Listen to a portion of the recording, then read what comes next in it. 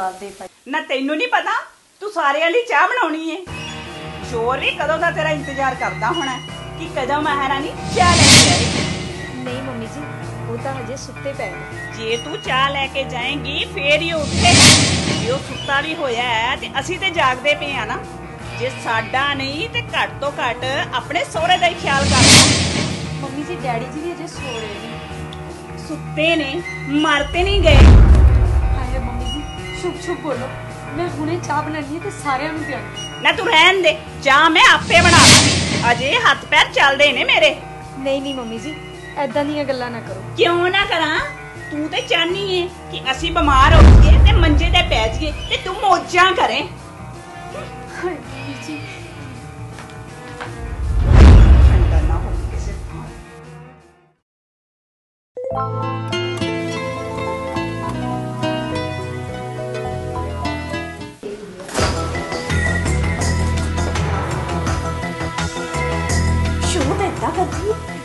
ਉਹਦੇ ਦਿਲ ਦੇ ਵਿੱਚ ਸਾਡੇ ਸਾਰਿਆਂ ਨੂੰ ਨਾ ਬੜਾ ਹੀ ਪਿਆਰ ਹੋਵੇ ਮਾਂ ਜੀ ਏਦਾਂ ਨਾ ਕਰੋ ਪਖੰਡੀ ਕਿਸੇ ਥਾਂ ਦੀ। ਮੰਮੀ ਰੋਣਾ ਕਿਉਂ ਮਾਰ ਰੱਖਿਆ ਹੈ? ਵਿਸ਼ਾਲੀ ਪੁੱਤਰ ਸਵੇਰ ਹੋ ਗਈ ਏ। ਉੱਠ ਪੁੱਤਰ। ਫਿਰ ਉੱਠਣਾ ਨਹੀਂ ਮੇਰਾ ਪੁੱਤਰ। ਮੰਮੀ ਤੁਹਾਨੂੰ ਪਤਾ ਤਾਂ ਹੈ ਮੈਂ ਲੇਟ ਆਈ ਸੀ ਰਾਤ ਨੂੰ ਪਾਰਟੀ ਤੋਂ। 1 ਵਜ ਗਿਆ ਸੀ। ਸੌਣ ਦਿਓ। ਭਾਬੀ ਚਾਹ ਬਣਾ ਕੇ ਲਿਆ ਰਹੀ ਹੈ ਤੇਰੇ ਲਈ? ਮੇਰਾ ਨਹੀਂ ਦਿਲ ਕਰਦਾ ਚਾਹ ਪੀਣ ਦਾ। ਦਿਲ ਤੇ ਮੇਰਾ ਵੀ ਨਹੀਂ ਸੀ ਪਰ ਫੇਰ ਵੀ ਨਾ ਸਵੇਰੇ ਸਵੇਰੇ ਨਾ ਉਹਨੂੰ ਇਹੋ ਜਿਹਾ ਮਜ਼ਾ ਚਖਾ ਕੇ ਆਈ ਆ ਸਾਰਾ ਦਿਨ ਯਾਦ ਰੱਖੇਗੀ। ਅੱਛਾ ਫੇਰ ਕਿਉਂ ਹੈ ਮੰਮੀ? ਹੁਣਾ ਕੀ ਸਵੇਰੇ ਸਵੇਰੇ ਮੰਦਿਰ 'ਚ ਪੂਜਾ ਕਰਦੀ ਪਈ ਸੀ। ਅੱਛਾ ਫੇਰ? ਨਾ ਮੈਂ ਉਹਨੂੰ ਕਿਹਾ ਕਿ ਸਵੇਰੇ ਸਵੇਰੇ ਤੇਰੀ ਪੂਜਾ ਜ਼ਰੂਰੀ ਹੈ ਤੇ ਸਾਡੇ ਸਾਰਿਆਂ ਲਈ ਚਾਹ। ਫੇਰ ਬਸ ਫੇਰ ਕੀ? ਮੈਂ ਹੋ ਗਈ ਸ਼ੁਰੂ ਤੇ ਫੇਰ ਕਹਿਣ ਲੱਗੀ, ਬਸ ਕਰੋ ਮੰਮੀ ਜੀ, ਬਸ ਕਰੋ ਮੰਮੀ ਜੀ, ਬਸ ਕਰੋ ਮੰਮੀ ਜੀ। ਅੱਛਾ, ਚੰਗਾ ਕੀਤਾ ਮੰਮੀ। ਹਰ ਰੋਜ਼ ਸਵੇਰੇ ਇਹ ਜੀ ਸੇਵਾ ਹੋਊਗੀ ਨਾ ਉਹਦੀ। ਆਪੇ ਇੱਕ ਦਿਨ ਘਰ ਛੱਡ ਕੇ ਭੱਜੂਗੀ ਜਦੋਂ ਘਰ ਛੱਡ ਕੇ ਚਲੀ ਗਈ ਨਾ, ਤੇ ਫੇਰ ਮੈਂ ਆਪਣੇ ਪੁੱਤਰ ਕਿਸ਼ੋਰ ਦਾ ਦੂਜਾ ਵਿਆਹ ਕਰ ਦੇਣਾ ਤੇ ਫੇਰ ਮੈਂ ਢੇਰ ਸਾਰਾ ਦਾਜ ਲੈਣਾ ਐਲਸੀਡੀ ਕਾਰ ਤੇ ਵੱਡਾ ਸਾਰਾ ਫ੍ਰਿਜ ਲੈਣਾ। ਬਸ ਸਵੇਰ ਹੋਈ ਨਹੀਂ ਕਿ ਤੁਹਾਡੇ ਲੋਕਾਂ ਦੀ ਡਰਾਮੇਬਾਜ਼ੀ ਸ਼ੁਰੂ। ਕਿਉਂ ਪਰਾਈ ਧੀ ਦੇ ਪਿੱਛੇ ਪਏ ਰਹਿੰਦੇ ਹੋ? ਉਹ ਤਾਂ ਸਾਡੇ ਸਾਰਿਆਂ ਦੀ ਇੱਜ਼ਤ ਕਰਦੀ। ਉਹਦੇ ਨਾਲ ਇੰਨਾ ਬੁਰਾ ਵਰਤਾਵ ਨਾ ਕਰਿਆ ਕਰੋ। ਕੁਝ ਤਾਂ ਰੱਬ ਕੋਲੋਂ ਡਰੋ। ਬਸ ਹੋ ਗਿਆ। ਜੋ ਕਹਿਣਾ ਚਾਹੁੰਦੇ ਸੀ ਕਹਿ ਲਿਆ। ਕਹਿ ਤਾਂ ਦਿੱਤਾ। ਪਰ ਕੋਈ ਕਿਸੇ ਦੀ ਸੁਣੇ ਤਾਂ ਨਾ।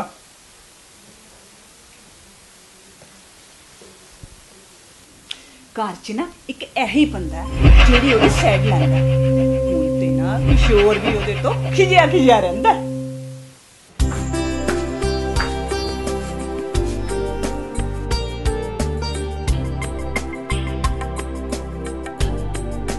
ਮੈਂ ਕਿਹਾ ਜੀ ਬਾਥਰੂਮ ਚ। ਕੀ ਗੱਲ ਆ? ਕੀ ਸਵੇਰੇ ਸਵੇਰੇ ਇੰਨਾ ਰੌਲਾ ਪਾਇਆ? ਨਹੀਂ ਜੀ ਮੈਂ ਤਾਂ ਬੜੇ ਆਰਾਮ ਨਾਲ ਪੀਆ ਕੀ ਆ? ਚਾਹ ਪੀ ਲਓ ਮੈਂ ਤੁਹਾਡੇ ਲਈ ਚਾਹ ਲੈ ਕੇ ਆਈ ਸੀ। ਰੱਖ ਦੇ ਉੱਥੇ। ਹੁਣੇ ਪੀ ਲਓ ਨਹੀਂ ਤਾਂ ਠੰਡੀ ਹੋ ਜਾਊ। ਬੰਦਾ ਸਵੇਰੇ ਸਵੇਰੇ ਉੱਠਦਾ ਬਾਥਰੂਮ ਜਾਂਦਾ ਫਰੈਸ਼ ਹੁੰਦਾ ਐਕਸਰਸਾਈਜ਼ ਕਰਦਾ। ਇਹ ਨਹੀਂ ਕਿ ਸਵੇਰੇ ਸਵੇਰੇ ਉੱਠ ਕੇ ਪੇਟ ਪੂਜਾ ਕਰ ਲਈ। ਜੇ ਤੈਨੂੰ ਚਾਹ ਪੀਣ ਦੀ ਇੰਨੀ ਅੱਗ ਲੱਗੀ ਸੀ ਨਾ ਤਾਂ ਆਪਣੇ ਜੋਗੀ ਬਣਾ ਲੈਣੀ ਸੀ। ਐਵੇਂ ਦੂਜਿਆਂ ਨੂੰ ਤੰਗ ਨਹੀਂ ਕਰੀਦਾ। ਮਾਂ ਜੀ ਕਹਿ ਰਹੇ ਸੀ। ਤੇ ਨਾ ਫਿਰ ਉਹਨਾਂ ਨੂੰ ਦੇ ਆ।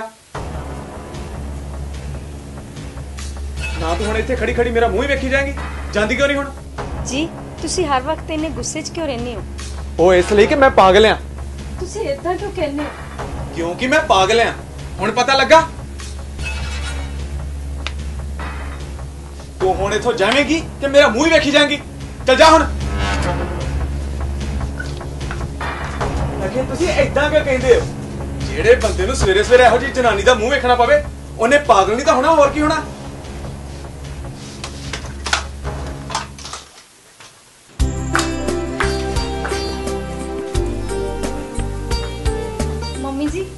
ਚਾਹ ਪੀ ਲਓ। ਵਿਸ਼ਾਲੀ ਚਾਹ ਪੀ ਲਓ। ਪੀਣਾ ਨਹੀਂ ਰੱਖ ਦੋ ਉੱਤੇ good morning mom very good morning ਬੇਟਾ। ਵਿਸ਼ੂ ਵੀ ਅੱਜ ਤੇਰੇ ਨਾਲ ਜਾ ਰਹੀ ਹੈ। ਹਾਂ ਮੰਮੀ ਜੀ ਮੈਂ ਹੀ ਇਹਨੂੰ ਕਿਹਾ ਸੀ ਕਿ ਸਵੇਰੇ ਸਵੇਰੇ ਹੱਥ ਪੈਰ ਹਿਲਾਉਣੇ ਚਾਹੀਦੇ ਨੇ। ਨਹੀਂ ਤੇ ਕੀ ਫਾਇਦਾ? ਜ਼ਹਿਰ ਪੀ ਕੇ ਬਿਸਤਰ 'ਚ ਹੀ ਲੇਟੇ ਰਹੋ। ਜ਼ਹਿਰ? ਇਹ ਚਾਹ ਜ਼ਹਿਰ ਨਹੀਂ ਤੇ ਹੋਰ ਕੀ ਹੈ? ਜੇ ਉਹਨੇ ਹੁਣ ਬਣਾ ਹੀ ਲਈ ਹੈ ਤਾਂ। ਆਪ ਪੀ ਲੈ। ਅਸੀਂ ਕਿਹੜਾ ਮਨਾ ਕੀਤਾ? ਹੈ? ਚੱਲ ਵਿਸ਼ੂ। ਮੈਂ ਕਿਹਾ ਜੀ ਜਾਣ ਤੋਂ ਪਹਿਲਾਂ ਇਹ ਦੱਸ ਦਿੰਦੇ ਅੱਜ ਨਾਸ਼ਤੇ 'ਚ ਕੀ ਖਾਣਾ ਹੈ? ਇਹਨੂੰ ਹਰ ਵੇਲੇ ਖਾਣ ਦੀ ਪਈ ਰਹਿੰਦੀ ਹੈ। ਚਲੋ ਚੱਲ।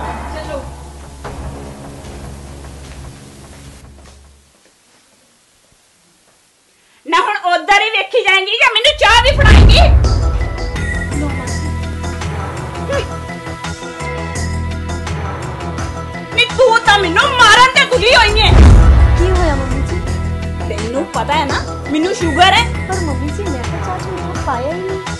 ਫਿਰ ਤੇ ਉਹਦੇ 'ਚ ਮਿੱਠਾ ਇੰਨਾ ਹੋਣਾ ਹੈ।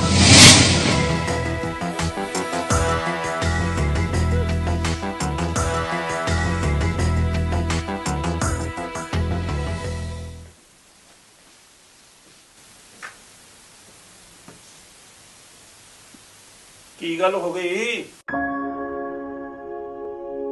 ਹੋਣਾ ਕੀ? ਹੈ ਚਾਹ 'ਚ ਇੰਨਾ ਮਿੱਠਾ ਪਾਇਆ ਹੈ।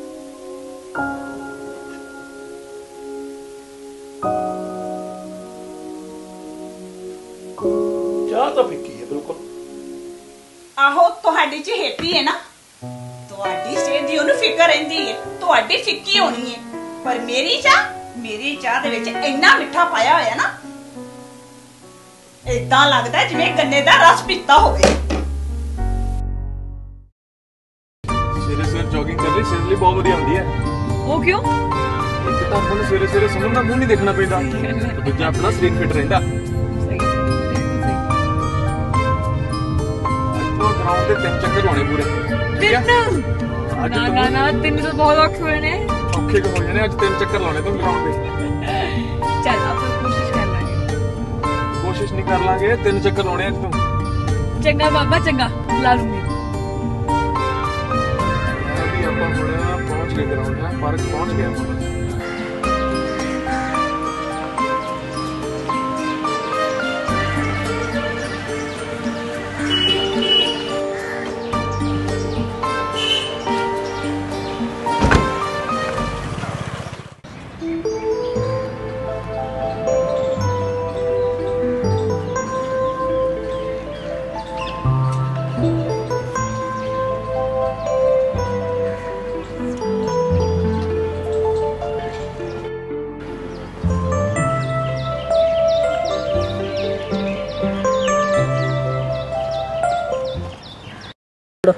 ਆਪਾਂ ਥੋੜਾ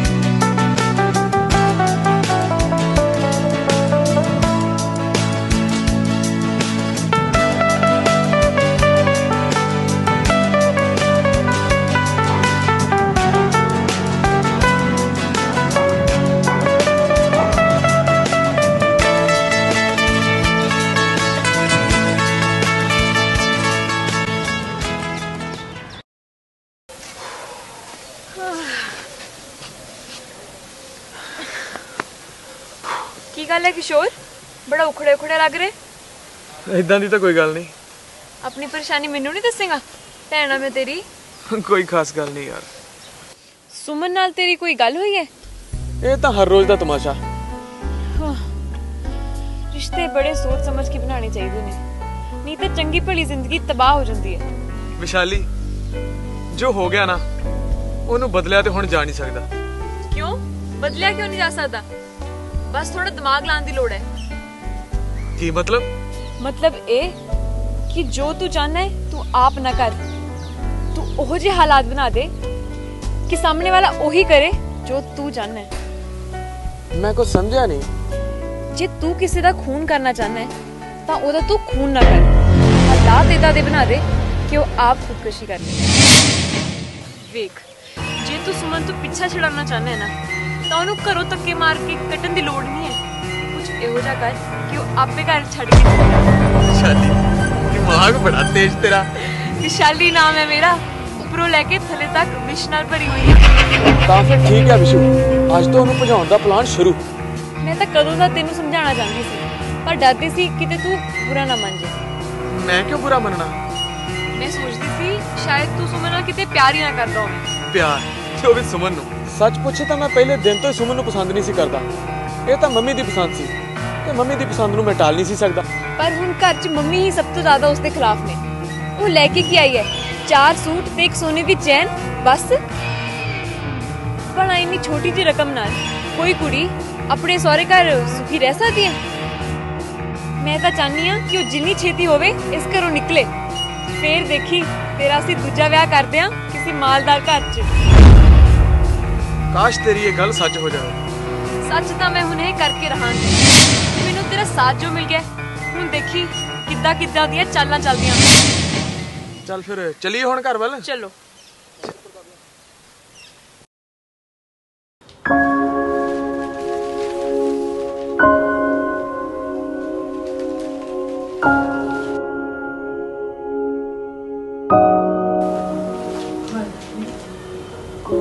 ਕਿੰਨੇ ਦਿਨ ਹੋ ਗਏ ਮੈਂ ਸੁਮਨ ਨਾਲ ਗੱਲ ਨਹੀਂ ਕੀਤੀ ਮੈਂ ਉਹਨੂੰ ਫੋਨ ਕਰਕੇ ਹੀ ਦੇਖ ਲਵਾਂ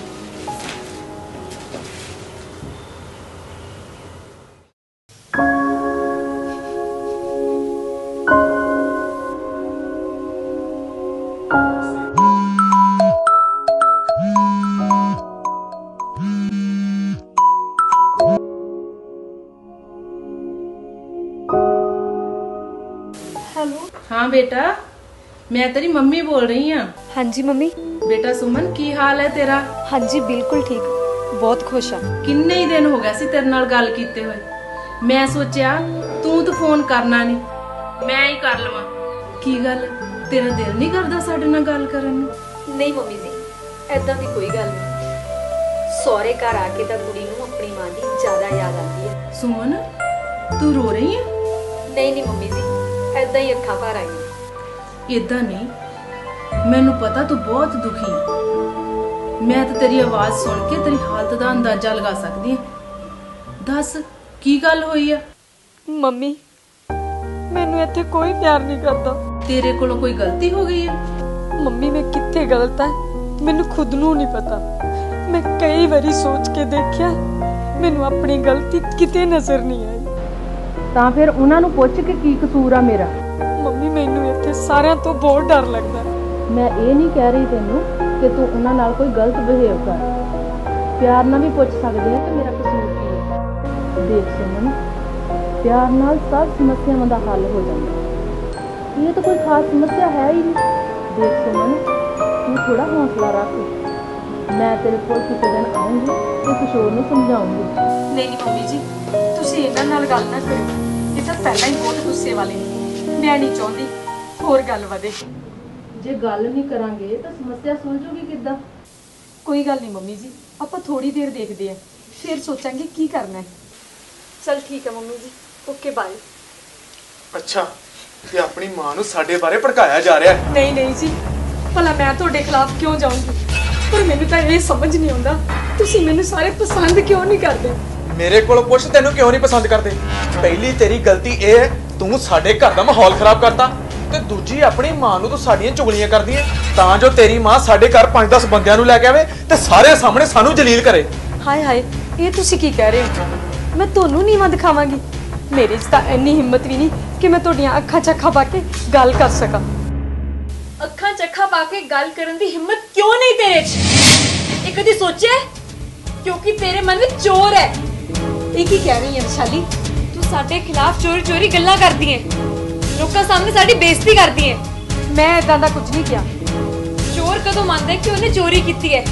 ਪਰ ਅਸੀਂ ਤੇਰੀ ਨੀਅਤ ਚੰਗੀ ਤਰ੍ਹਾਂ ਜਾਣਦੇ ਹਾਂ। ਕਿਸ਼ੋਰ ਨਾਲ ਪਿਆਰ ਕਰਨ ਦਾ ਨਾਟਕ ਕਰਦੀ ਹੈ। ਉਸ ਤੋਂ ਤੈਨੂੰ ਜ਼ਰਾ ਨਹੀਂ ਚਾਹੁੰਦੀ। ਲੋਕਾਂ ਸਾਹਮਣੇ ਉਸ ਉਸ ਦਾ ਤਮਾਸ਼ਾ ਬਣਾਉਣੀ ਹੈ। ਵਿਸ਼ਾਲੀ! ਸੱਚ ਕਿੰਨਾ ਕੌੜਾ ਲੱਗਦਾ ਹੈ ਨਾ?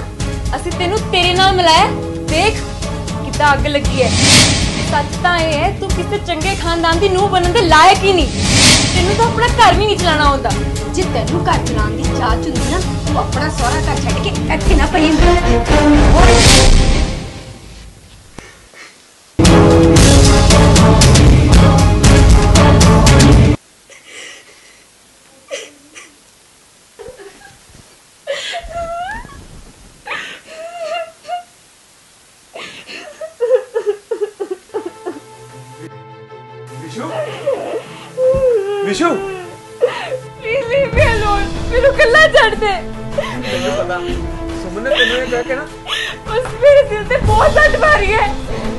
ਛੱਡਾਂਗੀ ਨਹੀਂ? ਕੋਈ ਗੱਲ ਨਹੀਂ ਵਕਤ ਆਉਂਦੇ ਸਭ ਠੀਕ ਹੋ ਜਾਏਗਾ। ਪਲੀਜ਼ ਲੀਵ ਮੀ ਅਲੋਨ ਮੈਨੂੰ ਕੱਲਾ ਛੱਡ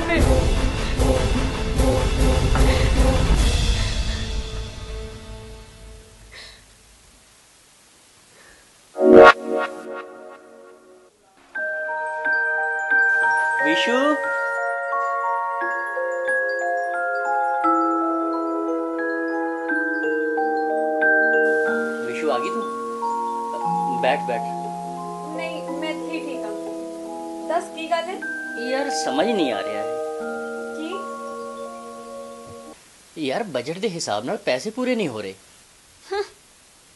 ਇਹ ਕਿਹੜਾ ਕੋਈ ਨਵੀਂ ਗੱਲ ਹੈ? ਯਾਰ 1200 ਰੁਪਏ ਇਕੱਲੇ ਦੁੱਧ ਦੇ ਹੋ ਗਏ। ਬਾਕੀ ਖਰਚਾ ਵੱਖਰਾ ਪਿਆ। ਆਪਣਾ ਹਿਸਾਬ ਆਪਣੇ ਕੋਲ ਰੱਖੋ। ਮੈਨੂੰ ਦੱਸਣ ਦੀ ਲੋੜ ਨਹੀਂ। ਵਿਸ਼ੂ ਬੈਠ ਤਾਂ ਸਹੀ। ਵਿਸ਼ੂ ਜੇ ਤੇਰੇ ਨਾਲ ਦਿਲ ਦੀ ਗੱਲ ਨਹੀਂ ਕਰਾਂਗਾ ਹੋਰ ਦੱਸ ਕਿਹਦੇ ਨਾਲ ਕਰਾਂਗਾ? ਜਿਹਦੇ ਨਾਲ ਮਰਜ਼ੀ ਕਰ। ਪਰ ਮੇਰਾ ਦਿਮਾਗ ਨਾ ਖਾ। ਹਾਂ ਨਾਲੇ ਆਪਣੇ ਖਰਚੇ ਵਿੱਚ ਮੇਰੀ ਇੱਕ ਸਾੜੀ ਦਾ ਖਰਚਾ ਜ਼ਰੂਰ ਲਿਖ ਲਈ ਨਵੀਂ ਸਾੜੀ? ਮਿਸਿਸ ਸ਼ਰਮਾ ਦੇ ਘਰ ਕੱਲ ਪਾਰਟੀ ਹੈ ਤੇ ਮੈਂ ਇਨਵਾਈਟਡ ਆ ਤੇ ਮੈਂ ਉੱਥੇ ਇਹ ਫਟੇ ਪੁਰਾਣੇ ਕੱਪੜੇ ਪਾ ਕੇ ਤਾਂ ਜਾ ਨਹੀਂ ਸਕਦੀ। ਯਾਰ ਫਟੇ ਕਿੱਥੇ? ਉਹ ਚੰਗੇ ਭਲੇ ਤਾਂ ਹੈ। ਤੇਰੀ ਨਜ਼ਰ 'ਚ ਤਾਂ ਸਭ ਕੁਝ ਠੀਕ ਹੈ। ਕਦੀ ਮੇਰੀ ਨਜ਼ਰ ਨਾਲ ਵੀ ਵੇਖ ਮਿਸਿਸ ਸ਼ਰਮਾ ਦੀ ਪਾਰਟੀ ਵਿੱਚ ਇੱਕ ਤੋਂ ਇੱਕ ਅਮੀਰ ਲੋਕ ਆਏ ਹੋਣੇ ਹੈ ਤੇ ਉਹਨਾਂ ਦੀ ਜਨਾਨੀਆਂ ਨੇ ਕੀਮਤੀ ਕੀਮਤੀ ਕੱਪੜੇ ਪਾਏ ਹੋਣੇ ਕਹਿਣੇ ਨਾ ਲੱਦੀਆਂ ਹੋਣਗੀਆਂ। ਤੇ ਮੇਰੇ ਕੋਲ ਕੀ ਹੈ? ਆ ਬਸ ਦੋ ਕੰਗਨ ਤੇ ਇੱਕ ਚੇਨ। ਉਹ ਵੀ ਜਿਹੜੀ ਮੈਂ ਆਪਣੀ ਮਾਂ ਘਰੋਂ ਲੈ ਕੇ ਆਈ ਹਾਂ ਦੇਖ ਵਿਸ਼ੂ ਜਿੱਥੇ ਜਾ ਕੇ ਇਨਸਾਨ ਆਪਣੇ ਆਪ ਨੂੰ ਛੋਟਾ ਮਹਿਸੂਸ ਕਰੇ ਮੈਨੂੰ ਲੱਗਦਾ ਉੱਥੇ ਜਾਣਾ ਹੀ ਨਹੀਂ ਚਾਹੀਦਾ। ਮਤਲਬ ਇਨਡਾਇਰੈਕਟਲੀ ਤੂੰ ਮੈਨੂੰ ਇਹ ਕਹਿ ਰਿਹਾ ਹੈ ਕਿ ਮੈਂ ਉੱਥੇ ਨਾ ਜਾਵਾਂ? ਮਿਸਟਰ ਅਸ਼ੋਕ ਮੇਰਾ ਵੀ ਕੋਈ ਸੋਸ਼ਲ ਸਰਕਲ ਹੈ। ਮੇਰੀ ਵੀ ਸਮਾਜ ਵਿੱਚ ਕੋਈ ਇੱਜ਼ਤ ਹੈ। ਤੇ ਮੈਂ ਆਪਣੀ ਇੱਜ਼ਤ ਕਾਇਮ ਰੱਖਣਾ ਚਾਹਨੀ ਆ ਚਾਹੇ ਝੂਠੀ ਸ਼ਾਨ ਲਈ ਘਰ ਵਾਲੇ ਦਾ ਦੁਆਰਾ ਨਿਕਲ ਤਾਂ ਨਿਕਲਣ ਹੀ ਵਾਲਾ ਇਹਦਾ ਮਤਲਬ ਤੂੰ ਮੈਨੂੰ ਐਸੀ ਤਰ੍ਹਾਂ ਵੇਖਣਾ ਚਾਹੁੰਦੀ ਹੈ। ਉਹ ਤਾਂ ਮੈਂ ਹਰ ਰੋਜ਼ ਹੀ ਵੇਖਦੀ ਆ ਤੇਰੇ ਕੋਲ ਹੈ ਕੀ ਹੈ? ਝੂਠੇ ਵਾਅਦੇ? ਮੈਂ ਤੈਨੂੰ ਕਦੇ ਵੀ ਝੂਠਾ ਲਾਰਾ ਨਹੀਂ ਲਾਇਆ। ਤੇ ਫਿਰ ਦਿੱਤਾ ਕੀ ਹੈ? ਕੁੱਟ-ਕੁੱਟ ਕੇ ਜੀਣ ਦੀ ਸਜ਼ਾ? ਫਿਰ ਕਿਹਨੇ ਕਿਹਾ ਸੀ ਤੈਨੂੰ ਸਜ਼ਾ ਭੁਗਤਣ ਵਾਸਤੇ? ਵਿਆਹ ਤੋਂ ਪਹਿਲਾਂ ਤੈਨੂੰ ਮੈਂ ਸਾਫ਼-ਸਾਫ਼ ਕਹਿ ਦਿੱਤਾ ਸੀਗਾ ਕਿ ਮੇਰੀ ਤਨਖਾਹ ਇੰਨੀ ਨਹੀਂ ਹੈ। ਛੋਟਾ ਜਿਹਾ ਮੇਰਾ ਘਰ ਹੈ। ਹਜ਼ਾਰਾਂ ਖਰਚੇ ਨੇ। ਮੈਂ ਸੋਚਿਆ ਸੀ ਤੂੰ ਤਰੱਕੀ ਕਰੇਗਾ। ਮੈਨੂੰ ਕੀ ਪਤਾ ਸੀ? ਤੂੰ ਹੱਥ ਤੇ ਹੱਥ ਧਰ ਕੇ ਬੈਠਾ ਰਹੇਗਾ। ਤਰੱਕੀ ਇੰਨੀ ਜਲਦੀ ਨਹੀਂ ਹੋ ਜਾਂਦੀ। ਸਾਡੇ ਵਿਆਹ ਨੂੰ ਟਾਈਮ ਹੀ ਕਿੰਨਾ ਹੋਇਆ? ਸਿਰਫ 4 ਮਹੀਨੇ? 4 ਮਹੀਨਿਆਂ 'ਚ ਤੰਗ ਆ ਗਈ ਤੂੰ ਮੇਥੋਂ? ਹਾਂ ਤੰਗ ਆ ਗਈ ਆ ਮੈਂ। ਮੰਗਤੀ ਬਣ ਗਈ ਆਂ ਤੇਰੇ ਘਰ ਆ ਕੇ। ਤਾਂ ਫਿਰ ਚਲੀ ਜਾ ਆਪਣੀ ਮਾਂ ਦੇ ਘਰ। ਮੈਂ ਵੀ ਤੰਗ ਆ ਗਿਆ ਰੋਜ਼ ਦੀ ਤੇਰੀ ਖਿੱਟ-ਪਿੱਟ ਸੁਣ ਕੇ। ਥੈਂਕਸ ਜਿਹੜੀ ਗੱਲ ਮੈਂ ਤੈਨੂੰ ਕਹਿਣਾ ਚਾਹੁੰਦੀ ਸੀ ਉਹ ਆਪ ਹੀ ਤੇਰੀ ਅੱਜ ਜ਼ੁਬਾਨ ਤੇ ਆ ਗਈ ਹੈ। ਮੈਂ ਜਾ ਰਹੀ ਹਾਂ ਘਰ ਛੱਡ ਕੇ।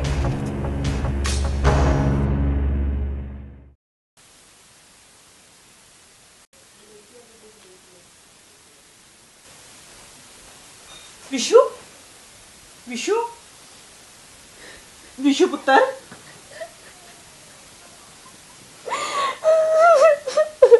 ਤੂੰ ਸਬਰ ਰੱਖ ਪੁੱਤਰ ਮੈਨੂੰ ਸਭ ਪਤਾ ਲੱਗ ਗਿਆ ਹੈ। ਉਹਦੀ ਇੰਨੀ ਹਿੰਮਤ ਉਹ ਤੇਰੇ ਬਰਖਲਾਫ ਕੋਈ ਗੱਲ ਕਰੇ ਉਹਦੀ ਇਹ ਗੱਲ ਮੇਰੇ ਕਲੇਜਾ ਚੀਰ ਗਈ ਹੈ ਉਸਨੇ ਮੇਰੀ ਦੁੱਖਤੀ ਰੱਖ ਤੇ ਹੱਥ ਰੱਖਿਆ ਹੈ ਮੈਂ ਉਹਨੂੰ ਛੱਡਾਂਗੀ ਨਹੀਂ। ਇਸ ਹਰਕਤ ਨਾਲ ਤੂੰ ਕੱਲੀ ਪਰੇਸ਼ਾਨ ਨਹੀਂ ਹੋਈ। ਇਹ ਗੱਲ ਮੈਨੂੰ ਵੀ ਬਹੁਤ ਚੁੱਕੀ ਮੈਂ ਤਾਂ ਸਿਰਫ ਉਹਨੂੰ ਇਹ ਕਿਹਾ ਸੀ ਕਿ ਤੈਨੂੰ ਘਰ ਚਲਾਉਣਾ ਨਹੀਂ ਆਉਂਦਾ। ਮੈਨੂੰ ਕਹਿੰਦੀ ਕਿ ਜੇ ਤੈਨੂੰ ਘਰ ਚਲਾਉਣਾ ਆਉਂਦਾ ਹੁੰਦਾ ਤਾਂ ਤੂੰ ਆਪਣਾ ਸਾਰਾ ਘਰ ਛੱਡ ਕੇ ਇੱਥੇ ਨਾ ਹੀ ਹੁੰਦੀ। ਨਾ ਉਹਦੀ ਇਹ ਮਜ਼ਾਕ? ਨਾ ਇਹ ਘਰ ਉਹਦੇ ਪਿਓ ਦਾ ਹੈ? ਕੋਈ ਗੱਲ ਨਹੀਂ ਮੰਮੀ। ਵਕਤ ਆਉਣ ਦਿਓ। ਜੇ ਮੈਂ ਉਸਦੇ ਕੋਲੋਂ ਬਦਲਾ ਨਾ ਲਿੱਤਾ ਨਾ ਤਾਂ ਮੇਰਾ ਨਾਮ ਵੀ ਵਿਸ਼ਾਲੀ ਨਹੀਂ। ਘਰ 'ਚ ਹੁੰਦਿਆਂ ਹੋਇਆ ਨਾ ਸਾਨੂੰ ਸੁੱਖ ਦਾ ਸਾਹ ਨਹੀਂ ਆ ਸਕਦਾ। ਕਿਸ਼ੋਰ ਵੀ ਬਿਨਾਂ ਨਾਸ਼ਤਾ ਕੀਤੇ ਹੀ ਘਰੋਂ ਚਲਾ ਗਿਆ। ਤੇ ਤੇਰੇ ਡੈਡੀ ਉਹ ਵੀ ਚਾਹ ਪੀ ਕੇ ਹੀ ਘਰੋਂ ਨਿਕਲ ਗਏ ਨੇ। ਪਰ ਜਾਣਾ ਤਾਂ ਇਹਨੂੰ ਚਾਹੀਦਾ ਹੈ। ਫਿਕਰ ਨਾ ਕਰ ਸਭ ਹੋ ਜਾਏਗਾ। ਮੈਂ ਕਰਦੀ ਆ ਹੁਣੇ ਉਹਦੇ ਨਾਲ ਗੱਲ। ਹਲੇ ਰਹਿਣ ਤੇ ਮੰਮੀ। ਹਲੇ ਟਾਈਮ ਨਹੀਂ ਆਇਆ। ਪਰ ਟਾਈਮ ਆਏਗਾ ਕਦੋਂ? ਜਦੋਂ ਟਾਈਮ ਆਏਗਾ ਨਾ ਸਾਰਿਆਂ ਨੂੰ ਪਤਾ ਲੱਗ ਨਹੀਂ ਮੈਂ ਗੱਲ ਕਰਦੀ ਆ ਨਾ। ਨਹੀਂ ਮੰਮੀ ਰਹਿਣ ਦਿਓ। ਮੈਂ ਉਹਦੇ ਨਾਲ ਗੁੱਸੇ ਨਾਲ ਗੱਲ ਨਹੀਂ ਕਰਾਂਗੀ। ਆਰਾਮ ਨਾਲ ਹੀ ਗੱਲ ਕਰਾਂਗੀ। ਕੀ ਫਾਇਦਾ ਮੰਮੀ?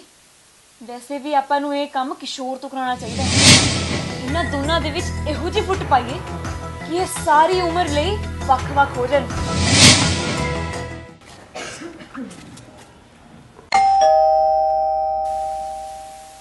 ਲੱਗਦਾ ਹੈ ਬਾਹਰ ਕੋਈ ਆਇਆ ਹੈ। ਇੰਨੀ ਸਵੇਰੇ ਸਵੇਰੇ ਕਿਹੜਾ ਆ ਗਿਆ? ਤੂੰ ਤੂੰ ਮੈਂ ਦੇਖ ਕੇ ਆਉਂਦੀ ਹਾਂ।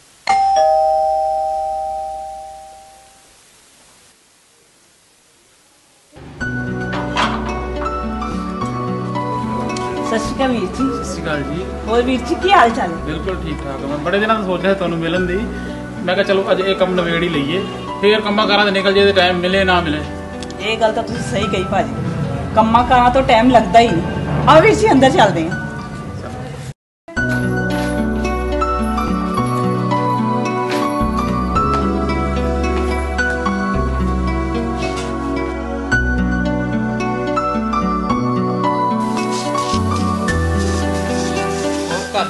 ਠੀਕ ਹੈ ਨਾ? ਵੀਰ ਜੀ ਘਰ 'ਚ ਤਾਂ ਸਭ ਠੀਕ ਠਾਕ ਹੈ। ਪਰ ਉਹ ਜਿਹੜੀ ਬਾਹਰੋਂ ਆਈ ਹੈ ਨਾ ਉਹਨੇ ਸਾਡਾ ਜੀਣਾ ਹਰਾਮ ਕੀਤਾ ਪਿਆ। ਕਿਹਦੀ ਗੱਲ ਕਰਦੇ ਪਏ ਸੁਮਨ ਦੀ? ਸੁਮਨ? ਮਨ ਦੀ ਬਹੁਤ ਕਾਲੀ ਏ। ਇਦਾਂ ਦਾ ਕੀ ਕਰਤਾ ਉਹਨੇ? ਹੁਣ ਇੱਕ ਗੱਲ ਹੋਵੇ ਤਾਂ ਦੱਸਾਂ। ਭੈਣ ਜੀ ਬੁਰਾ ਨਾ ਮੰਨਣਾ। ਉਹ ਕੁੜੀ ਬੜੇ ਚੰਗੇ ਸੁਭਾਅ ਦੀ ਏ ਤੇ ਬੜੀ ਭੋਲੀ ਏ। ਉਹਦੇ ਮਨ ਵਿੱਚ ਤੁਹਾਡੇ ਪ੍ਰਤੀ ਬਹੁਤ ਪਿਆਰ ਤੇ ਬਹੁਤ ਇੱਜ਼ਤ ਹੈ ਵੀਰ ਜੀ ਜੇ ਇੰਨੀ ਚੰਗੀ ਏ ਤਾਂ ਤੁਸੀਂ ਉਹਨੂੰ ਆਪਣੇ ਘਰ ਲੈ ਜਾਓ ਤੇ ਆਪਣੀ ਧੀ ਬਣਾ ਕੇ ਰੱਖੋ।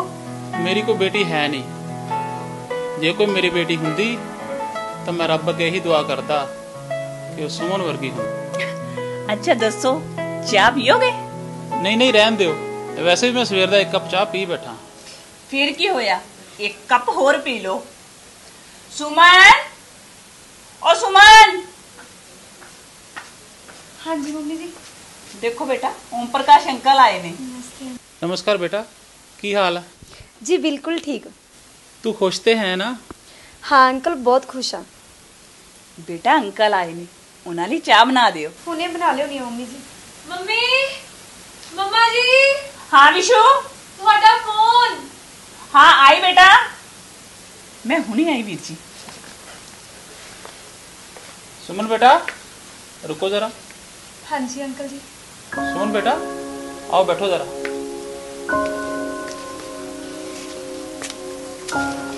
ਕੀ ਹੋਇਆ ਬੇਟਾ?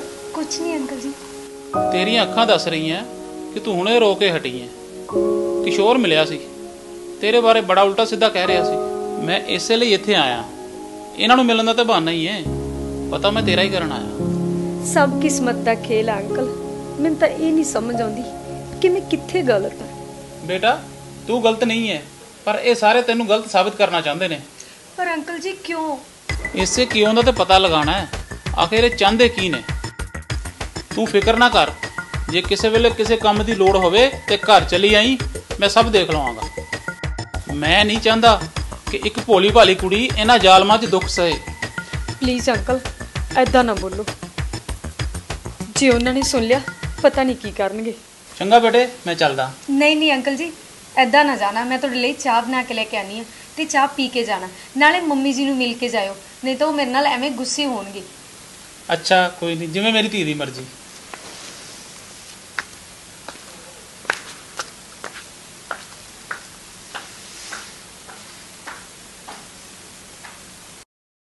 ਦੇਖੋ ਮੰਮੀ ਜੀ ਸੋਹਰਿਆ ਘਰ ਤਾਂ ਛੋਟੀਆਂ ਮੋਟੀਆਂ ਗੱਲਾਂ ਹੁੰਦੀਆਂ ਹੀ ਰਹਿੰਦੀਆਂ। ਫਿਰ ਕੁੜੀ ਨੂੰ ਥੋੜਾ ਟਾਈਮ ਤਾਂ ਲੱਗਦਾ ਹੀ ਆ ਐਡਜਸਟ ਕਰਨ ਨੂੰ। ਤੁਸੀਂ ਟੈਨਸ਼ਨ ਨਾ ਲਓ। ਮੈਨੂੰ ਆਪਣੀ ਭੈਣ ਤੇ ਪੂਰਾ ਯਕੀਨ ਆ। ਉਹ ਆਪਣੀ ਸਮਝਦਾਰੀ ਨਾਲ ਸਭ ਕੁਝ ਠੀਕ ਕਰ ਲਏਗੀ। ਪਰ ਜੇ ਸਭ ਕੁਝ ਠੀਕ ਹੋਣ ਦੀ ਬਜਾਏ ਵਿਗੜ ਗਿਆ ਤਾਂ? ਪਹਿਲਾਂ ਸਭ ਕੁਝ ਠੀਕ ਹੋਣ ਦੀ ਲੋੜ ਆ। ਜੇ ਨਹੀਂ ਹੋਇਆ ਤਾਂ ਫਿਰ ਦੇਖ ਲਾਂਗੇ। ਮੇਰੀ ਬੇਟੀ ਰੋ ਰਹੀ ਸੀ। ਵੈਸੇ ਗੱਲ ਕੀ ਹੋਈ ਸੀ? ਗੱਲ ਕੀ ਹੈ ਇਹ ਤਾਂ ਸੁਮਨ ਵੀ ਨਹੀਂ ਜਾਣਦੀ। ਕਹਿ ਰਹੀ ਸੀ ਮੈਂ ਬੜੀ ਤਰ੍ਹਾਂ ਸੋਚ ਕੇ ਦੇਖਿਆ। ਪਰ ਮੈਨੂੰ ਇਹ ਸਮਝ ਹੀ ਨਹੀਂ ਆਈ ਕਿ ਮੈਂ ਗਲਤ ਕਿੱਥੇ ਹਾਂ ਸੁਮਨ ਗਲਤ ਹੋ ਹੀ ਨਹੀਂ ਸਕਦੀ। ਕੀ ਮੈਂ ਉਹਦਾ ਸੁਭਾਅ ਨਹੀਂ ਜਾਣਦਾ? ਉਹ ਤੇ ਰਸਤੇ ਵਿੱਚ ਖੜੇ ਬੰਦੇ ਦਾ ਦੁੱਖ ਨਹੀਂ ਦੇਖ ਸਕਦੀ। ਇਹ ਤਾਂ ਫੇਰ ਉਹਦਾ ਆਪਣਾ ਘਰ ਆ। ਆਪਣੇ ਘਰ 'ਚ ਗਲਤ ਕਿੱਦਾਂ ਹੋ ਸਕਦੀ? ਹਾਂ ਉਹਦੇ ਘਰਦਿਆਂ ਨੇ ਉਹਨੂੰ ਪਛਾਣਿਆ ਨਹੀਂ। ਮੇਰੀ ਭੈਣ ਤੇ ਖਰਾ ਸੋਨਾ ਹੈ। ਇਸੇ ਗੱਲ ਦਾ ਤਾਂ ਦੁੱਖ ਹੈ ਕਿ ਮੇਰੀ ਧੀ ਇੰਨੀ ਚੰਗੀ ਹੋਣ ਦੇ ਬਾਵਜੂਦ ਦੁੱਖ ਸਹਿ ਰਹੀ ਹੈ। ਵਿੱਕੀ ਮੈਂ ਚਾਹੁੰਦੀ ਆ ਕਿ ਆਪਾਂ ਇੱਕ ਵਾਰੀ ਉਹਨੂੰ ਮਿਲ ਆਈਏ। ਨਹੀਂ। ਇਸ ਟਾਈਮ ਸਾਡਾ ਉੱਥੇ ਜਾਣਾ ਠੀਕ ਨਹੀਂਗਾ ਜੇ ਉਹਨਾਂ ਦੇ ਘਰ ਕੋਈ ਟੈਨਸ਼ਨ ਹੋਈ ਤਾਂ ਹੋਰ ਵਾਜੂ ਤੁਸੀਂ ਸਬਰ ਰੱਖੋ। ਪਰਮਾਤਮਾ ਸਭ ਠੀਕ ਕਰੇਗਾ।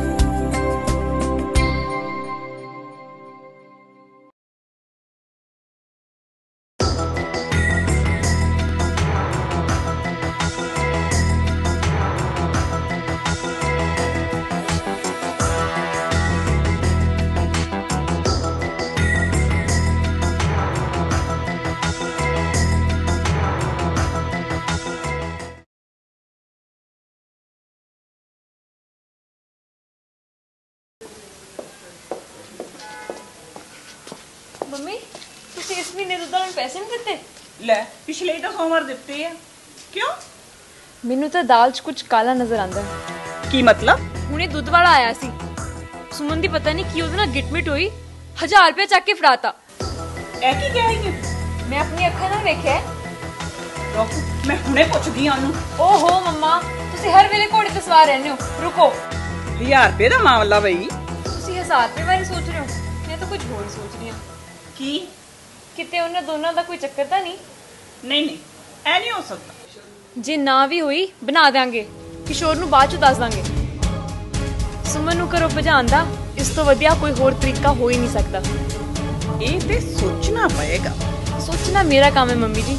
ਬਸ ਤੁਸੀਂ ਮੇਰਾ ਸਾਥ ਦਿੰਦੇ ਰਹਿਣਾ। ਫਿਰ ਦੇਖਣਾ। ਐਸਾ ਚੱਕਰ ਚਲਾਉਂਗੀ ਸਾਰੇ ਦੇਖਦੇ ਰਹਿ ਜਾਣਗੇ ਦਿਮਾਗ ਤਾਂ ਤੇਰਾ ਬਹੁਤ ਚੱਲਦਾ ਹੈ।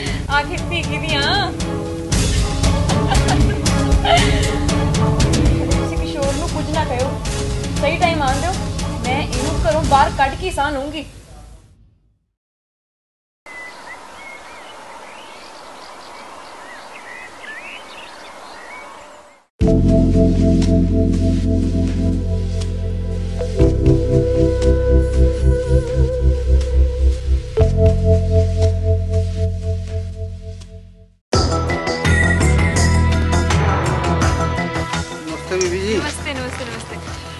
ਗੋਰੇ ਤੂੰ ਆਪਣਾ ਮੈਨੂੰ ਫੋਨ ਦੇਗਾ, ਮੈਂ ਆਪਣਾ ਨਾ ਮੋਬਾਈਲ ਘਰੇ ਭੁੱਲ ਆਈ ਆ। ਜੀ ਹਾਂ, ਜੀ। ਜੀ ਲੀਜੀ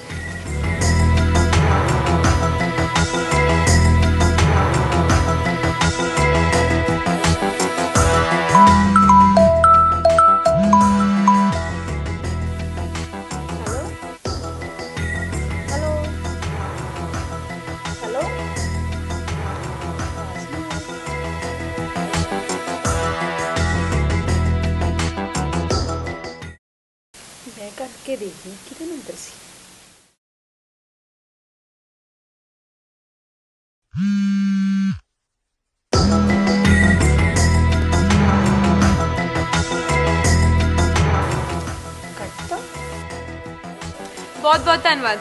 ਆ ਲਓ ਆਪਣਾ ਫੋਨ ਬੀਬੀ ਜੀ ਇੱਕ ਗੱਲ ਸਮਝ ਨਹੀਂ ਆਈ। ਜੋ ਜੋ ਤੁਸੀਂ ਟੈਲੀਫੋਨ ਕੀਤਾ ਤਾਂ ਵੀ ਗੱਲ ਨਹੀਂ ਕੀਤੀ। ਜੋ ਤੁਹਾਨੂੰ ਟੈਲੀਫੋਨ ਆਇਆ ਤਾਂ ਵੀ ਗੱਲ ਨਹੀਂ ਕੀਤੀ। ਜਦ ਗੱਲ ਹੀ ਨਹੀਂ ਸੀ ਕਰਨੀ ਫੋਨ ਲੈਣ ਦਾ ਕੀ ਮਤਲਬ? ਕਈ ਵਾਰ ਬਿਨਾਂ ਗੱਲ ਕੀਤਿਆਂ ਹੀ ਸਾਰੀ ਗੱਲ ਹੋ ਜਾਂਦੀ ਹੈ। ਸਮਝਿਆ? ਸਮਝ ਗਿਆ। ਇਹ ਗੱਲ ਤੁਸੀਂ ਠੀਕ ਕੀਤੀ ਬੀਬੀ ਜੀ। ਜੇ ਇੰਨੀ ਸਮਝ ਹੁੰਦੀ ਤਾਂ ਅਸੀਂ ਦੁੱਧ ਹੀ ਵੇਚਣਾ ਸੀਗਾ। ਅੱਛਾ ਜੀ।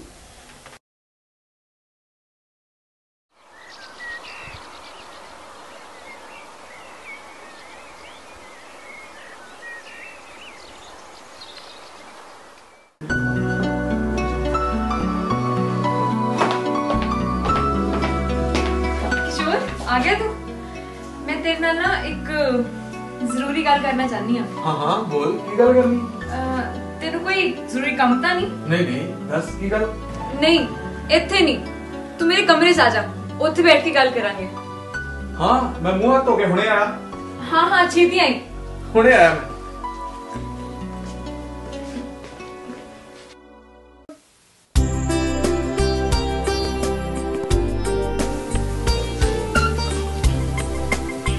ਤੁਸੀਂ ਅੱਜ ਇੰਨੀ ਜਲਦੀ ਆ ਗਏ? ਕਿਉਂ? ਨਹੀਂ ਸੀ ਹੋਣਾ ਚਾਹੀਦਾ? ਨਹੀਂ ਜੀ ਮੈਂ ਤਾਂ ਉਦਾਂ ਹੀ ਪੁੱਛਿਆ। ਕੁਝ ਲਿਆਵਾਂ ਤੁਹਾਡੇ ਲਈ? ਕਿਸੇ ਚੀਜ਼ ਦੀ ਲੋੜ ਹੋਈ ਤਾਂ ਮੈਂ ਆਪ ਹੀ ਕਹਿ ਦਾਂਗਾ। ਐਵੇਂ ਪੁੱਛਦੀ ਨਾ ਰਿਹਾ ਕਰ। ਜੀ ਮੈਂ ਤੁਹਾਨੂੰ ਕੋਈ ਗੱਲ ਪੁੱਛਣਾ ਚਾਹੁੰਦੀ ਸੀ।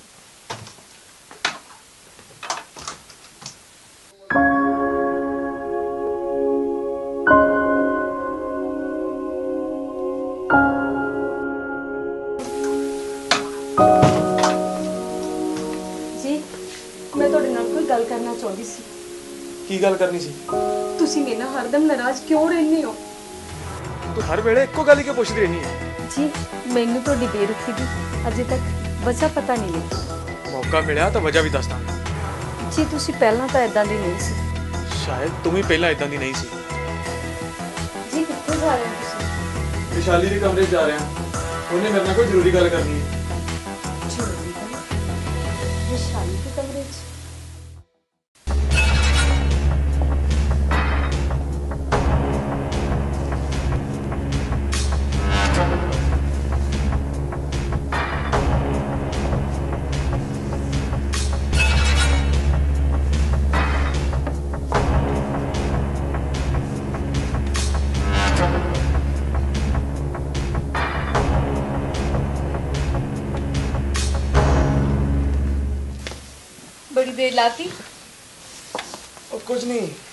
ਸੁਮਨ ਨੇ ਰੋਕ ਲਿਆ ਸੀ।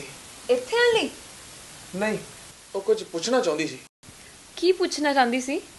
ਇਹੀ ਕਿ ਮੈਂ ਉਹਦੇ ਨਾਲ ਹਰ ਵਕਤ ਨਾਰਾਜ਼ ਕਿਉਂ ਰਹਿਣਾ? ਤੇ ਅੱਜ ਉਸ ਨੂੰ ਆਪਣੇ ਸਵਾਲ ਦਾ ਸਹੀ ਜਵਾਬ ਮਿਲ ਜਾਏਗਾ। ਗੱਲ ਕੀ ਹੈ ਵਿਸ਼ੂ? ਅੱਜ ਮੈਂ ਤੈਨੂੰ ਇੱਕ ਇਹੋ ਜਿਹੀ ਸੱਚਾਈ ਦੱਸਣ ਜਾ ਰਹੀ ਹਾਂ ਜਿਹਨੂੰ ਸੁਣ ਕੇ ਤੇਰੇ ਰੌਂਗਟੇ ਖੜੇ ਹੋ ਜਾਣਗੇ। ਕੀ? ਪਰ ਤੈਨੂੰ ਮੇਰੀ ਇੱਕ ਗੱਲ ਮੰਨਣੀ ਪਏਗੀ। ਹੋ ਕੀ? ਤੂੰ ਗੱਲ ਸੁਣ ਕੇ ਰੌਲਾ ਨਹੀਂ ਪਾਏਗਾ। ਆਖਿਰ ਇਸ ਘਰ ਦੀ ਇੱਜ਼ਤ ਦਾ ਸਵਾਲ ਹੈ। ਬੁਝਾਰਤਾ ਨਾ ਪਾ ਸਾਫ਼-ਸਾਫ਼ ਦੱਸ। ਤਾਂ ਸੁਣ ਫਿਰ। ਆ ਸੁਮਨ ਜਿਹੜੀ ਹਰ ਵਕਤ ਤੇਰੇ ਨਾਲ ਪਿਆਰ ਕਰਨ ਦਾ ਨਾਟਕ ਕਰਦੀ ਹੈ ਨਾ ਉਹ ਦਿਲੋਂ ਕਿਸੇ ਹੋਰ ਨੂੰ ਚਾਹੁੰਦੀ ਹੈ। ਇਹ ਕੀ ਬਕਦੀ ਹੈ? ਮੈਂ ਤੈਨੂੰ ਕਿਹਾ ਸੀ ਨਾ ਰੌਲਾ ਨਾ ਪਾਈ। ਘਰ ਦੀ ਇੱਜ਼ਤ ਦਾ ਸਵਾਲ ਹੈ। ਕੌਣ ਹੈ ਉਹ? ਗੋਰਾ ਦੁੱਧ ਵਾਲਾ ਮੈਨੂੰ ਸ਼ੱਕ ਹੈ ਕਿ ਅੱਜ ਉਹਨੇ ਇਹਨੂੰ ਫੋਨ ਵੀ ਕੀਤਾ ਸੀ। ਤੇਰੇ ਕੋਲ ਉਹਦਾ ਨੰਬਰ ਤਾਂ ਹੋਣਾ ਨਾ। ਹਾਂ ਪਤਾ। ਤੂੰ ਸੁਮਨ ਦਾ ਮੋਬਾਈਲ ਚੈੱਕ ਕਰ। ਸਕਦਾ ਕੋਈ ਸਬੂਤ ਮਿਲ ਜੇ। ਸੁਮਨ! ਸੁਮਨ! ਸੁਮਨ! ਸੁਮਨ! ਹਾਂਜੀ। ਮੋਬਾਈਲ ਫੜਾ ਆਪਣਾ। ਕੀ ਗੱਲ ਹੋਈ ਹੈ ਜੀ? ਮੈਂ ਤੈਨੂੰ ਕਿਹਾ ਨਾ ਆਪਣਾ ਮੋਬਾਈਲ ਫੜਾ ਮੈਨੂੰ। ਹੁਣੇ ਲੈ ਕੇ ਆਈ ਜੀ। ਹੁਣੇ ਦੁੱਧ ਦਾ ਦੁੱਧ ਤੇ ਪਾਣੀ ਦਾ ਪਾਣੀ ਹੋ ਜਾਏਗਾ।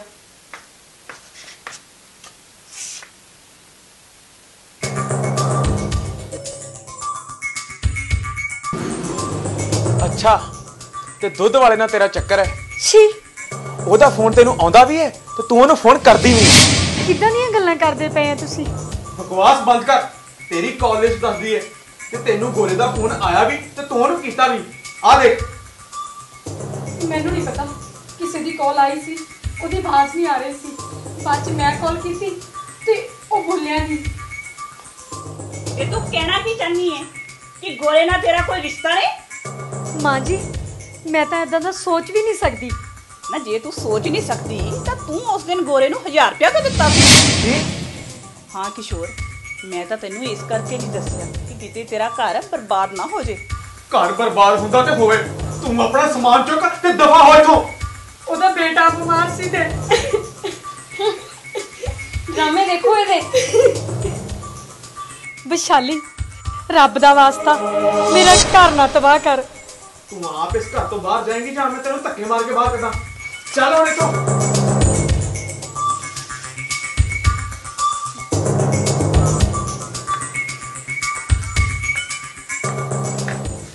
ਕਿਸ਼ੋਰ ਪੁੱਤਰ ਜਾਨ ਛੁੱਟੀ ਤੂੰ ਹੁਣ ਚਿੰਤਾ ਨਾ ਕਰ ਦੁਨੀਆ ਚੰਗੀਆਂ ਤੋਂ ਚੰਗੀਆਂ ਕੁੜੀਆਂ ਨਾ ਭਰੀ ਪਈ ਏ ਤੇ ਤੂੰ ਹੁਣ ਦੇਖੀ ਅੱਜ ਨਹੀਂ ਤੇ ਕੱਲ ਮੈਂ ਤੇਰੇ ਲਈ ਇੰਨੀ ਚੰਗੀ ਕੁੜੀ ਲੱਭ ਕੇ ਲਿਆਵਾਂਗੀ ਨਾ ਕਿ ਦੁਨੀਆ ਦੇਖਦੀ ਰਹਿ ਜਾਏਗੀ ਮੈਂ ਕਿਹਾ ਕੀ ਗੱਲ ਹੋ ਗਈ? ਸੁਮਨ ਰੋਂਦੀ ਹੋਈ ਕਿੱਥੇ ਗਈ ਹੈ? ਆਪਣੇ ਘਰ। ਆਪਣੇ ਘਰ? ਪਰ ਕਿਉਂ? ਆਪਣੀਆਂ ਕਰਤੂਤਾਂ ਦੀ ਵਜ੍ਹਾ ਨਾਲ। ਮੈਨੂੰ ਤੇ ਦੱਸਦੇ ਹੋਏ ਵੀ ਸ਼ਰਮ ਆਂਦੀ ਏ ਕਿ ਉਹਦਾ ਦੁੱਧ ਵਾਲੇ ਨਾਲ ਚੱਕਰ ਸੀ। ਸੰਤੋਸ਼ ਗੰਗਾ ਤਾਂ ਉਲਟੀ ਵਗ ਸਕਦੀ ਹੈ ਪਰ ਸੁਮਨ ਸੁਮਨ ਇਹਦਾ ਦਾ ਕੰਮ ਨਹੀਂ ਕਰ ਸਕਦੀ। ਬਸ ਪਾਪਾ ਤੁਸੀਂ ਉਹਦੀ ਸਾਈਡ ਲੈਣਾ ਬੰਦ ਕਰੋ। ਅਸੀਂ ਕੋਈ ਪਾਗਲ ਨਹੀਂ ਆ। ਅੱਜ ਤਾਂ ਤੇਰੀ ਅੱਖਾਂ ਤੇ ਪੱਟੀ ਵੱਜੀ ਹੋਈ ਹੈ। ਜਦੋਂ ਤੇਰੀਆਂ ਅੱਖਾਂ ਖੁੱਲ ਗਈਆਂ ਨਾ, ਤਾਂ ਬਹੁਤ ਪਛਤਾਏਗਾ। ਬਹੁਤ ਪਛਤਾਏਗਾ।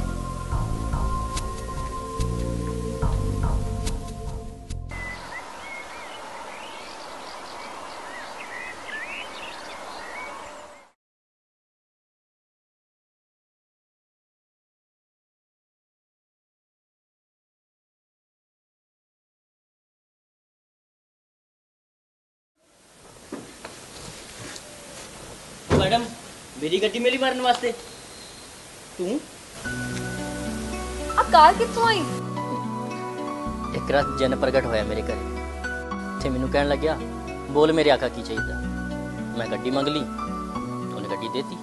ਮਤਲਬ ਦੱਸਣਾ ਨਹੀਂ ਜਾਂਦਾ। ਤੂੰ ਕੀ ਚਾਹੁੰਦੀ ਹੈ ਮੈਂ ਤੈਨੂੰ ਦੱਸਾਂ?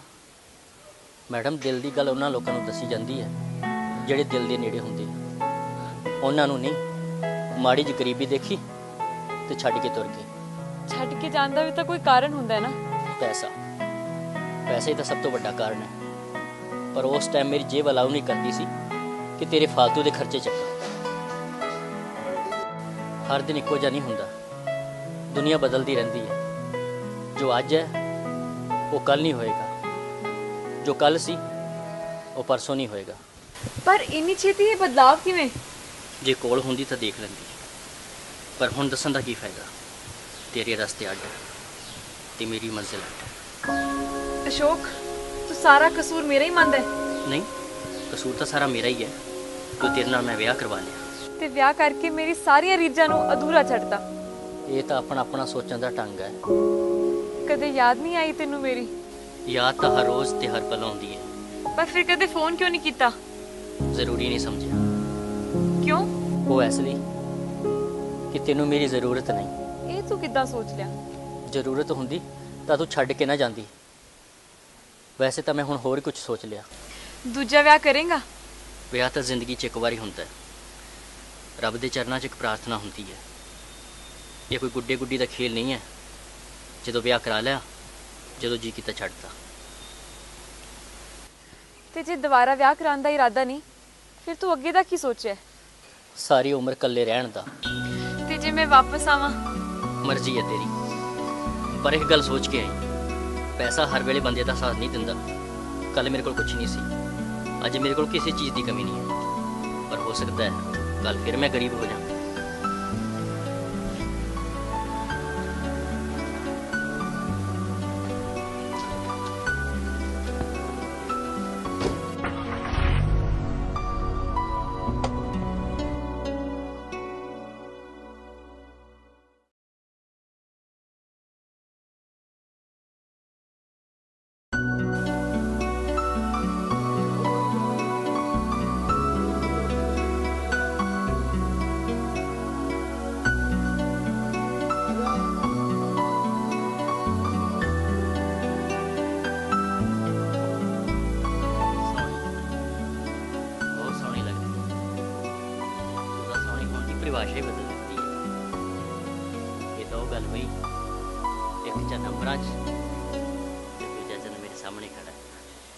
ਕਰਨੀਆਂ ਤਾਂ ਕੋਈ ਤੁਹਾਡੇ ਤੋਂ ਸਿੱਖੇ।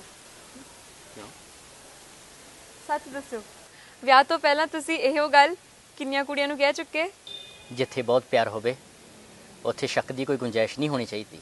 ਮੈਂ ਤਾਂ ਮਜ਼ਾਕ ਕਰ ਰਹੀ ਸੀ। ਕਿਸ਼ੋਰ ਤੂੰ ਇਸ ਵਿਆਹ ਤੋਂ ਖੁਸ਼ ਤੇ ਹੈ ਨਾ? ਤੇ ਹੁਣ ਪੁੱਛ ਲੈ। ਵਿਸ਼ੂ ਤੂੰ ਇਸ ਵਿਆਹ ਤੋਂ ਖੁਸ਼ ਤਾਂ ਹੈ ਨਾ? ਖੁਸ਼? ਬਹੁਤ ਖੁਸ਼। ਮੈਨੂੰ ਤਾਂ ਐਦਾਂ ਲੱਗ ਰਿਹਾ ਕਿ ਮੇਰੇ ਸਾਰੇ ਸੁਪਨੇ ਸਾਕਾਰ ਹੋ ਗਏ ਨੇ। ਮੈਂ ਜ਼ਿੰਦਗੀ ਤੋਂ ਜੋ ਚਾਹਿਆ ਉਹ ਮੈਨੂੰ ਮਿਲ ਗਿਆ। ਤੇ ਫਿਰ ਇੱਕ ਗੱਲ ਪੁੱਛਾਂ? ਕਿ? ਜ਼ਿੰਦਗੀ 'ਚ ਕਦੇ ਮੇਰਾ ਸਾਥ ਤਾਂ ਨਹੀਂ ਛੱਡ ਕੇ ਜਾਏਂਗੀ? ਇਹ ਤੁਸੀਂ ਸੋਚ ਵੀ ਕਿਵੇਂ ਲਿਆ? ਵਿਆਹ ਦਾ ਬੰਧਨ ਹੈ ਮਿਸਟਰ। ਕੋਈ ਗੁੱਡੇ ਗੁੱਡੀਆਂ ਦਾ ਖੇਡ ਨਹੀਂ। ਕੀ ਗੱਲ ਰੁਸਕੀ ਕੀ ਮੈਂ ਮਜ਼ਾਕ ਵੀ ਨਹੀਂ ਕਰ ਸਕਦਾ? ਅੱਜ ਤੋਂ ਬਾਅਦ ਇਹੋ ਜਿਹਾ ਮਜ਼ਾਕ ਕੋਈ ਨਹੀਂ ਕਰੇਗਾ। ਨਾ ਤੁਸੀਂ ਨਾ ਮੈਂ। ਆਪਾਂ ਹੁਣ ਸਾਰੀ ਉਮਰ ਇਕੱਠੇ ਰਹਿਣਾ ਹੈ ਇੱਕ ਦੂਜਿਆਂ ਦੀ ਬਾਹਾਂ ਵਿੱਚ।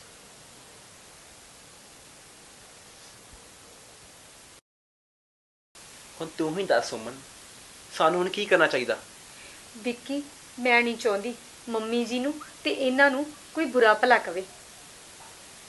ਮੇਰੀ ਗੱਲ ਸੁਣ ਸੁਮਨ ਉਹਨਾਂ ਨੇ ਤੇਰੇ ਉੱਤੇ ਇੰਨਾ ਵੱਡਾ ਇਲਜ਼ਾਮ ਲਾਤਾ ਤੂੰ ਤੂੰ ਹਾਲੇ ਵੀ ਉਹਨਾਂ ਦਾ ਭਲਾ ਸੋਚ ਰਹੀ ਹੈ? ਇਹ ਤਾਂ ਆਪਣੀ ਆਪਣੀ ਸੋਚ ਹੈ ਮੰਮੀ ਜੀ। ਮੈਂ ਨਹੀਂ ਚਾਹੁੰਦੀ। ਉਹਨਾਂ ਨੂੰ ਕੋਈ ਚੰਗਾ ਮਾੜਾ ਕਵੇ ਤੇ ਉਹਨਾਂ ਦੀ ਬੇਇੱਜ਼ਤੀ ਕਰੇ। ਫਿਰ ਇਸ ਸਮੱਸਿਆ ਦਾ ਹੱਲ ਕਿੱਦਾਂ ਹੋਵੇਗਾ? ਮੰਮੀ ਜੀ ਰੱਬ ਹੈ ਨਾ ਉਹ ਸਭ ਦੇਖ ਰਿਹਾ। ਹੈ।